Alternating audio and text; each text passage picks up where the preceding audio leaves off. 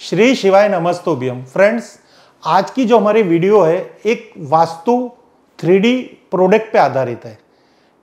ये three product क्या है और ये थ्री प्रोडक्ट हमें वास्तु में क्यों अभी इसका प्रयोग करना इतना आवश्यक है? क्योंकि आजकल का जो युग है ना, वो है टेक्नोलॉजी युग। इस युग के अंदर हमारा कोई भी बिज़नेस है, सालों पहले वो बिज़नेस एक छोटी दुकान में होता था, आज वही बिज़नेस ऑनलाइन हो गया है। यानी ऑनलाइन और दुकान फ़िज़िकल शॉप और एक ऑनलाइन शॉप इन दोनों के बीच की एक कंपटीशन है। उसी तरह हमारे आज एग्ज़ाम इतने टफ होने लग गए हमें अच्छी जॉब की प्राप्ति के लिए प्रमोशन के लिए, या कहीं पे जॉब प्राप्त तो करनी है, कोई अच्छी प्राइवेट सेक्टर में या फिर गवर्नमेंट सेक्टर में, वहाँ पे जो हमें पूछे जाने वाले सवाल जवाब वो उसकी तैयारियाँ, उसकी एग्ज़ाम की हम प्रिपेयर होने के लिए, अच्छी स्टडी के लिए टैलेंट के लिए और वो टैलेंट प्राप्त करने के बाद हमारे पास वापिस आ रहा है कंपटीशन बहुत सारे कैंडिडेट उसी जॉब के लिए ऑलरेडी प्रिपेयर होके हमारे साथ कंपटीशन में खड़े हुए तो अगर आपको बिज़नेस के अंदर कंपटीशन है फैक्ट्री के अंदर कंपटीशन है, या फिर आपकी स्टडी और जॉब के अंदर कंपटीशन कंपटीशन यानी अगर हम इसका अनुवाद करेंगे हिंदी में तो हरीफाई। हरीफाई यानी ये कंपटीशन रेस हरीफाई को हम जब भी सोचेंगे तो हमें एक आकृति दिखेगी घोड़े की। र, रनिंग हॉर्स दौड़ता हुआ घोड़ा। ओके? तो ये दौड़ता हुआ घोड़ा आज हमारी थ्री रेमेडी है जो वास्तु के अंदर प्रयोग करनी है। अगर आपको बिज़नेस संबंधित कोई भी प्रकार की कंपटीशन है, आपका बिज़नेस नहीं चल रहा, आपके बिज़नेस के अंदर बहुत कंपटीशन है, आपका बिज़नेस पानी एक कहते हैं ना, पत्थर की तरह, पहाड़ की तरह ठहर गया है, हमें उससे बेहता करना है, यानी उसको दौड़ाना है। हॉर्स पावर हॉर्स पावर की ज़रूर है आपको बिज़नेस को। आप किसी भी प्राइवेट जॉब के लिए तैयारियाँ कर रहे हैं, आप किसी भी सरकारी गवर्नमेंट जॉब के लिए प्रिपरेशन कर रहे हैं। तो उसके लिए आपको हॉर्स पावर घोड़े जैसी ताकत चाहिए। घोड़े जैसा आपको दौड़ना भी है। दौड़ोगे कब? जब आपके अनकॉन्शियस माइंड के अंदर ये थ्री प्रोडक्ट पंच करेगी तो आप उसको पॉजिटिव में लेंगे।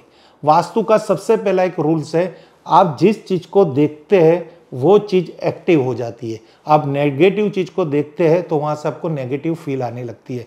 पॉजिटिव चीज़ को देखते हैं तो वहाँ से आपको पॉजिटिव थॉट आने लगते हैं। तो ये घोड़े की आप थ्री या टू रेमेडी आपके घर के अंदर, आपकी फैक्ट्री में, आपके स्टडी रूम में कर सकते हो।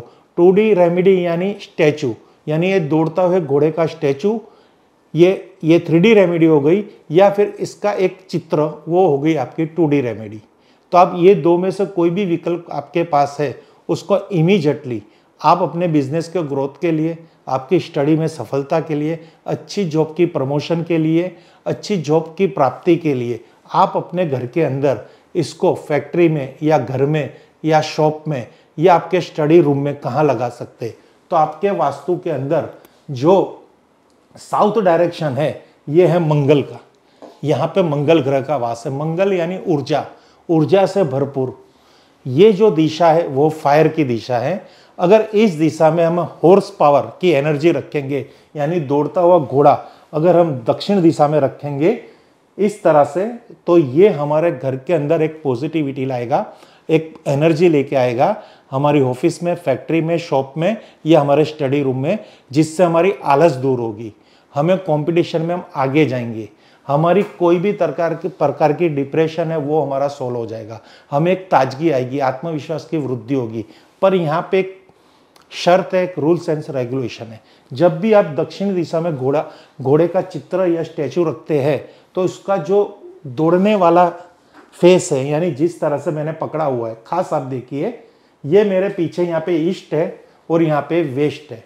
अब ईस्ट में हमेशा सूरज यहाँ पे सनराइज यहाँ पे होती है ऑलवेज जब भी आप देखेंगे तो यहाँ पे ऑलवेज सनराइज होती है सुबह सुबह ओके सूरज अपने सात घोड़े के रथ पे सवार होके वो अपनी गति के हिसाब से सनसेट पश्चिम दिशा में होता है। यहाँ पे सनसेट हो जाता है। ओके इसी तरह वो सात घोड़ों में से एक घोड़ा ये है, ऐसा समझ के आपको ये घोड़ा इस तरह से रखना है, ये स्टैचू इस तरह से रखनी है, वो फ़ोटो इस तरह से लगानी है कि घोड़े का, घोड़े की दिशा के तरफ़ दौड़ता हो, इस लॉजिक के साथ इस घोड़े की तस्वीर या आप घोड़े के स्टैचू को, हॉर्स के स्टैचू को लगा सकते हैं। यहाँ पे संख्या संख्या का भी एक बहुत महत्व है कि एक सिंगल घोड़ा चाहिए। यहाँ पे आपको एक ही संख्या में, यानी सिंगल डिजिट, यानी एक ही, एक, तीन, सात, नौ, इस संख्या के अंदर, एक, तीन, पाँच, सात, नौ, इस संख्या के अंदर आपको घोड़े के घोड़े के स्टैचू या फ़ोटो लगानी है। तो यहाँ पे ये मुहावरा एकदम फिट होगा।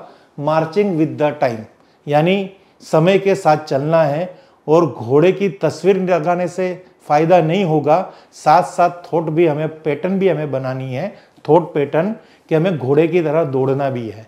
तो आपका ये छोटा सा प्रयोग, एक छोटी सी थ्री रेमेडी या टू रेमेडी जो भी आपके संभव वो कर लीजिए। और आने वाले दिनों में आप देखिए आपका बिज़नेस कहाँ था और कहाँ पहुँच गया। और आपको किस तरह से कौन सी जॉब मिल गई और जॉब में आपको कितनी प्रमोशन हो रही है। जो अभी जॉब कर रहे हैं, उनके लिए भी ये उपाय है और जो जॉब नहीं कर रहे उनके लिए भी ये उपाय है। जो बिज़नेस कर रहे हैं, उनके लिए भी ये उपाय है और जो बिज़नेस करने की सोच रहे हैं, उनके लिए भी ये उपाय है। जो सोच रहे हैं, उसकी थॉट पैटर्न को बढ़ाएगा और जो कर रहे हैं, उनकी एक्टिविटी को बढ़ाएगा। तो फ्रेंड्स आज की वीडियो हम यहीं पे समाप्त कर रहे हैं। हर हर महादेव, हर हर महादेव, हर हर महादेव।